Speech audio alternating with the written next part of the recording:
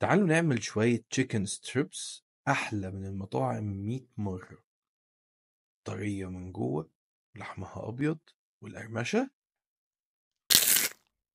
ولا غلطة.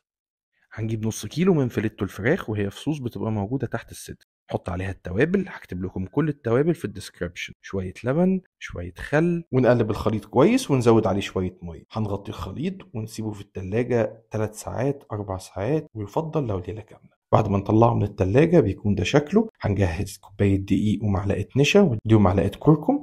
هنحط فيها الفراخ ونبتدي نقلبها بالشكل ده. في عندنا طريقتين لل breading في ال double breading بنقلبها في الدقيق ونطلعها نحطها في مية متلجه ونرجع نحطها في الدقيق تاني. أنا بفضل ال single breading بتكون اخف في القلي والفرق ما بينهم إن إحنا بنحطهاش في المية بس بنقلبها كويس في الدقيق. عملت لكم قطعتين عشان تشوفوا الطريقة. بنجهز زيت غزير سخن واول ما بننزل بالفراخ بنبتدي نوطي النار عليه تدريجي نخليها درجة حرارة متوسطة. بتقعد حوالي تقريبا أربع دقائق ما بنحطش كتير في الزيت عشان الزيت ما يبردش ونطلعها نشفها على rack القرمشة واللون خطير وبيضة من جوه وطرية جدا.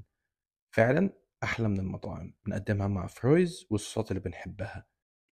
وبالهنا والشفا. وطبعا تسلم إيدي.